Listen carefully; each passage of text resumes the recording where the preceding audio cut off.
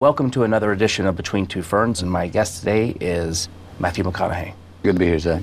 Of all the things you can win an Oscar for, how surprised are you that you won one for acting? Here we go. I noticed that you're wearing a shirt. Is everything okay? And you have a major leak in here. I'm sorry. I'm so sorry. See what's going on with these Dude, don't do that. Help! Help! Help! Who is the idiot? They installed the sprinkler system! Well, they turned the sprinklers on. You killed Matthew McConaughey. He's dead? He's brought back to life, but he was momentarily dead. You owe me. Go across the country, get 10 more episodes of Between Two Ferns. 10, your dumb internet talk show, and you give me a network talk show. I'm a white man and I'm straight and I deserve it. Green as ever. Is the width off to you?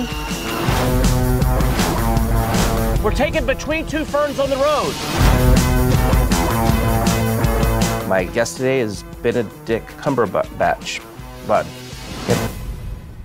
Benedict Cam- Benefit Lumberjacks. Uh, Benedict, Benedict Cumberbatch. that's what it is. I read online that you're very private and decline to answer questions that make you feel uncomfortable. Is that true? And how old were you when you got your first period? Um.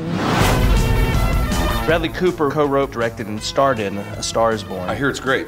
Are you hoping that will open doors for other hot idiots? I don't know if I'm gonna get these shows out. We don't have any money. We're hungry. We're gonna order the clam strips. How big are they? Have you ever seen a chicken strip? I've never seen a chicken wear clothes. Here's to the crazy ones. The misfits. And ding dongs. I'm just curious about the pathology behind this. Some people would say we're the crazy ones. But I think we're geniuses. Hello. I love your show. What if we take this upstairs? What About John Legend. He's probably at home polishing his EGOT. Is that what he calls his penis? Between Two Ferns, the movie. Is this gonna be? Is it gonna be in theaters? Not in theaters. Not in theaters.